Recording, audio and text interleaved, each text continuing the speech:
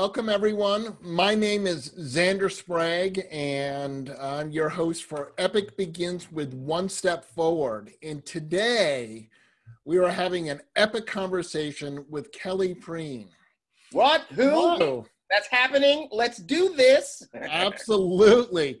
So, just to give you a little background, I've known Kelly for well more years than Kelly and I are actually going to admit, but we know Right, each other right. from, from from college. And I went to Pitzer College. Kelly went to Pomona, and Kelly is a force. And I when, we went to school, even though we went to different schools, all the schools are right there next to each other. So as much time as I spent at Pomona, I spent at, at Pitzer doing Without a Box, hanging out with a bunch of my Pitzer friends. There's an all women's college called Scripps that I was trying to spend time at. you know, I really didn't come into my own till after college. But yeah, man, the, the our college experience was it was fantastic, and we got to know each other, and it, it has been a in a minute. But we're looking, we're holding up, we're looking good. I like to think. I, I- I'd like to. I- I'd like to believe that. I, I gotta say that if I got carted and go to go in a bar and they say, "Sorry, you can't come in," I'd actually believe that because I myself have a hard time believing the number that's actually attached to me right now. Yeah, yeah, I know it. I know it. And I know you're rocking the dome. I love it. Usually I do too, but this is my. I've been letting it go since the uh, pandemic, so I call this my stay at Frome. I'm gonna try to let it go. I can't lie to you. There, every other day I'm like, I gotta cut it. It looks like I got buckwheat in a headlock, and I, but I'm gonna try to keep it. I'm, I'm gonna try to go with it. I'm gonna use it for a, a character or you know, something because it, it takes seconds to cut and months to grow. So It you know, I'll does. probably look like you very soon when I get my next job. It, it, it, it, is looking good. Oh, not sure. I'll take that. Oh, natural. So, Kelly, just maybe share with our listeners just kind of a brief history of who is Kelly Perine and what's your career been? Because it's How, how, how far back do you want me to go? Look, I'll give you just a you know quick background of like Yeah, yeah. I'm originally from you know Pennsylvania State College. My dad taught at Penn State, and so my dad was a professor of adolescent psychology, but he also did musical theater. So I have been on the stage, acting, singing, uh, dancing, doing all that since since I was four, since I was five. But it was I wasn't here in Hollywood. I was here there in Pennsylvania. So it wasn't what, like I was a Hollywood ki- kid chasing Hollywood dreams. I was a central Pennsylvania kid doing community theater and happy for community it. Theater with 27 old people in there, and but it was I, what did I know? It, it, it was awesome, and I knew very young that I loved the attention, both positive and negative. And if I couldn't get it positively, I feel you.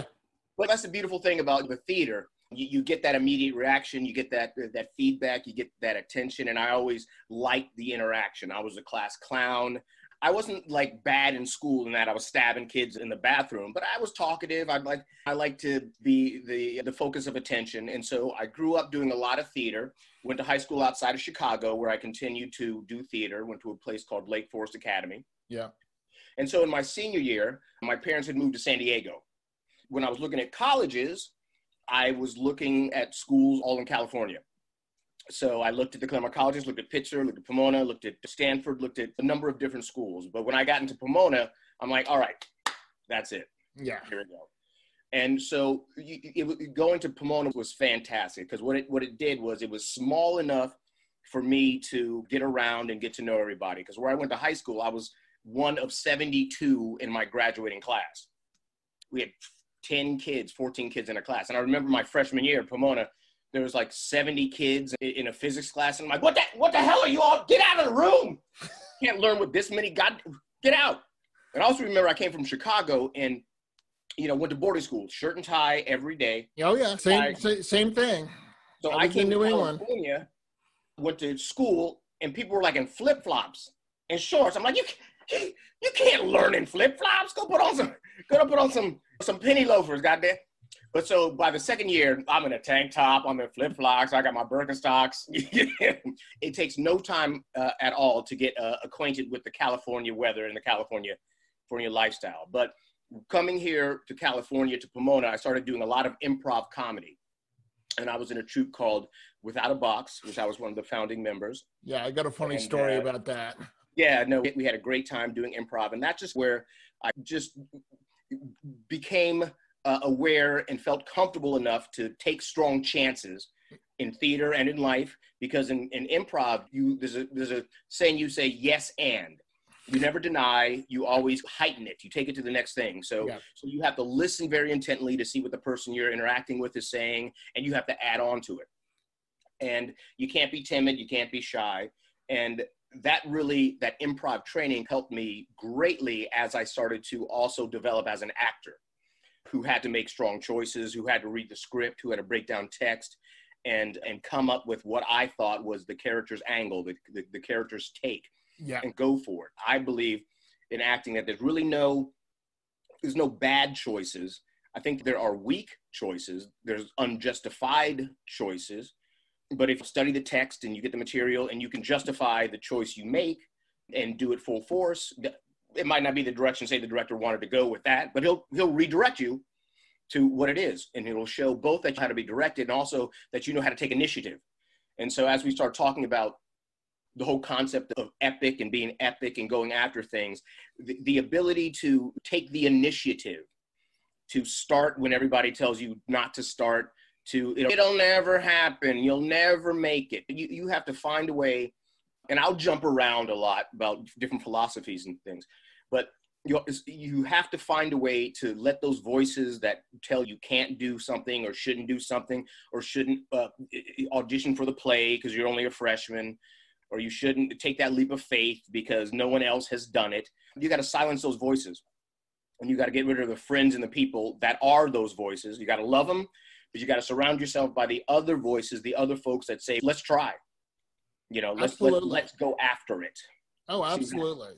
And you were talking about Without a Box, which was fabulous. And I actually auditioned for Without a Box. Oh, yeah? But, and here, this is a funny story. I had all of the luck as I got up there to do improv. Who was my improv partner? But Max Brooks, the son oh, of Mel Brooks' son, Max Brooks. Yeah, so that's kind so, of so.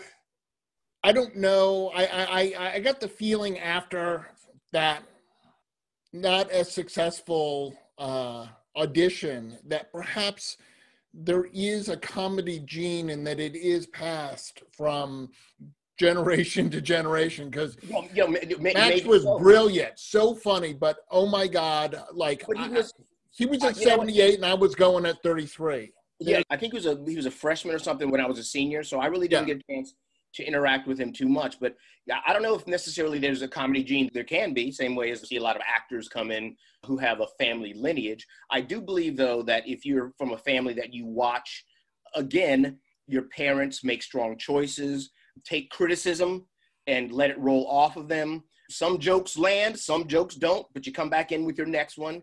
If you are raised that way over and over again, the there's a sense of again fearlessness that whatever you do, whatever joke you put out there is that they they, they can't kill me. the joke bombed, but so the what? They can't kill me for yeah. having a bad performance, for not telling a good joke, for having a bad set, for having a bad show so that no matter where that gene comes from whether or not it's passed down from your father who is mel brooks or just from a, a coach that w- believed in you, a teacher that believed in you. Wherever that gene that you believe in yourself comes from, I, I believe it's mandatory to have. And I think that if you look at through lines of people that are successful, some people become successful at 25, some people become successful at 70. At some point, they acquire that gene that says, it, I'm going after it and no is not an option. So wherever you get it from, be it your parents, be it from yourself, you can be born with that confidence. You have to have it. You you have to get it. I don't beg, borrow, or steal, but become confident and believe in yourself. I don't know how you go to therapy. I mean, I just say here I am launching a, a, speaking career during a pandemic. So yeah, yeah, you have no right to do that. Why did you Why did you call me? The thing oh, no, the so thing the this. thing I want to do is fill a room with people and I can't do it because we're not allowed to do it. But again, not stopping me. And I do think there's a lot of truth in what you're saying that those some of that is just being comfortable like in front of a crowd. I know I love nothing more than getting up in front of people and doing a speech, doing a performance. Yeah. Like you, I love the attention. I crave the attention. I'm, I've often said that my biggest high I, is when I get to speak in front of people. Yeah. And that audience interaction, one of the most challenging parts of what I'm doing is yeah, I've done podcasts and stuff. When I'm just speaking into a mic, it is so much harder, even though I can speak really well,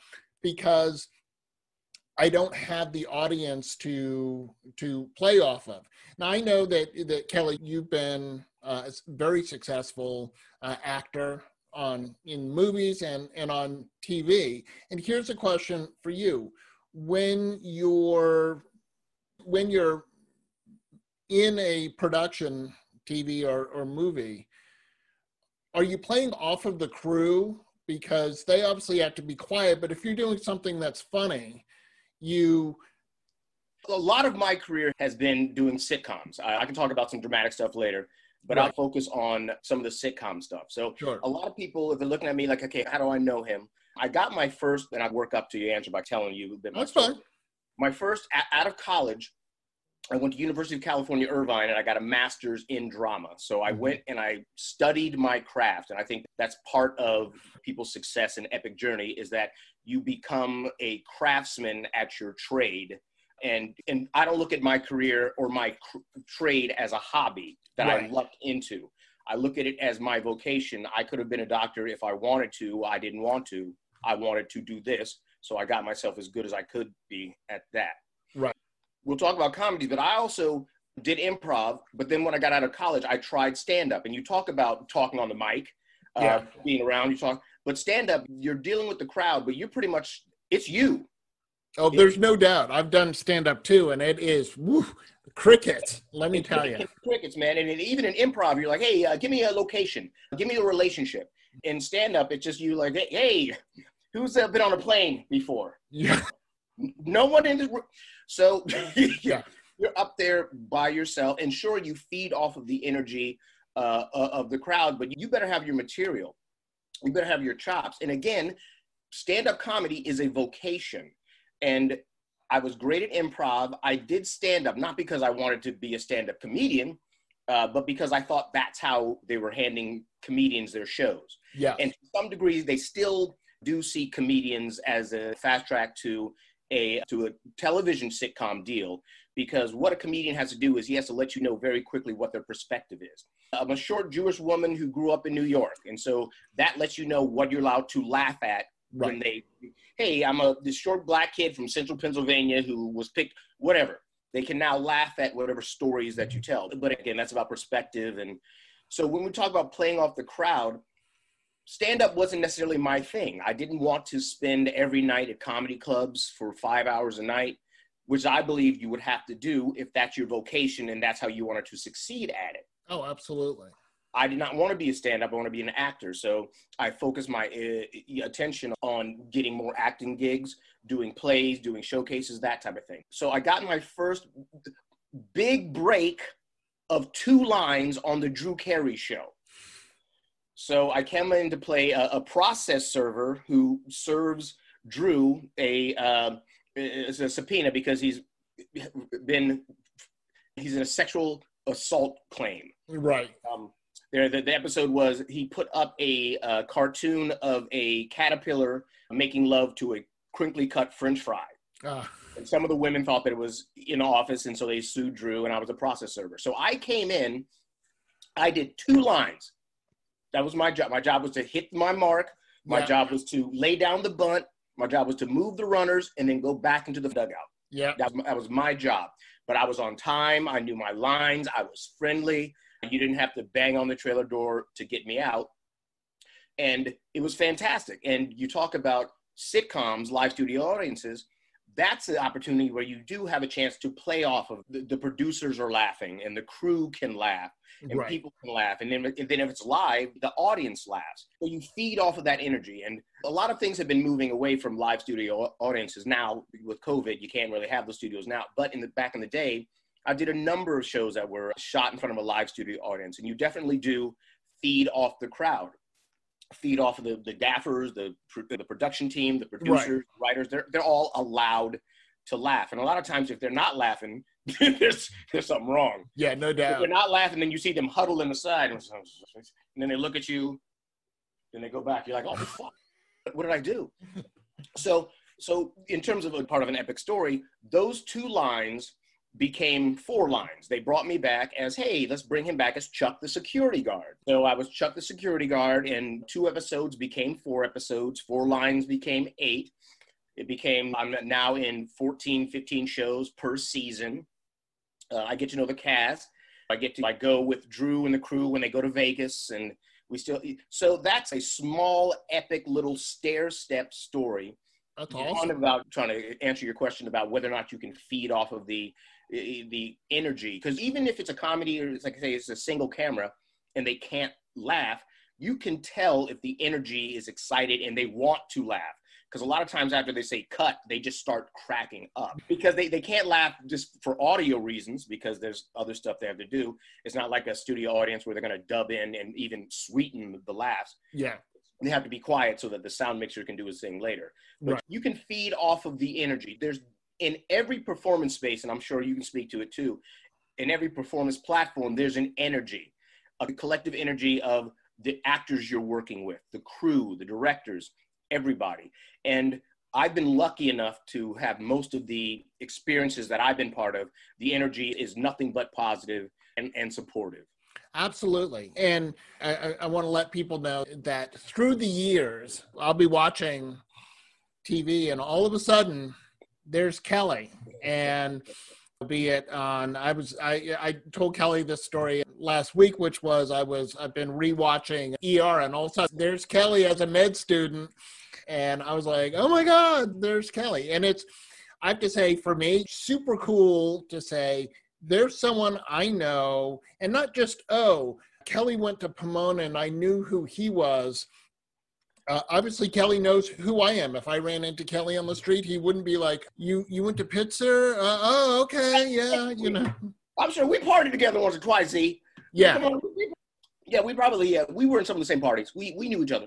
we did. No, absolutely, and it's it is really cool to see see people that that you know and see the success that they're having. And Kelly, I know again from as you said, two lines became 12 episodes 14 episodes and from there you and that is the way that my understanding that uh, like acting careers begin. I've been watching i love M*A*S*H like rewatching M*A*S*H and the number of people that were on there that we look at now and go oh my gosh there's There, yeah, there's so I mean, I, there- there- there's Ron Howard. There's and how people like, like like you played one part and then they brought him back. So, for example, Harry Morgan, who played Sherman Potter, was in like season one, played like this crazy general who was like old and losing his mind, and then they bring him back a couple seasons later to be one of the main cast members. So that's know- really funny. Yeah, and there's a couple things that you touched on there that I'll try to weave in. The, I've been in this career now 26 years, not necessarily to age myself. And I've done started with Drew Carey show. Then I did a show for a good long time called uh, One on One, where I played Dwayne Odell Knox. Did that for about four years. Before that, I did a show called Between Brothers with me and Tommy Davidson, Kadeem Hardison. Yeah. Uh, that only lasted a season. Did that. Did the Parenthood. Then I did everything from ER, Mad About You, Seinfeld, Living Single, Providence.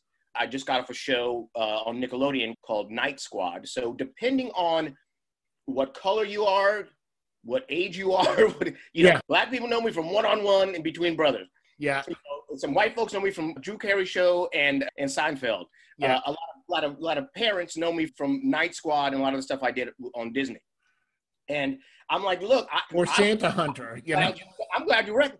And after all that time, after 26 years, I'm still what I call a that guy. Yeah. Um, because if you look at me, you're like, hey, how do I? I know that guy, but I don't know exactly what I know him from. Like I said, and so I'll be walking past people, and I can see them look, and I can see them do a double take and go, "Was that?"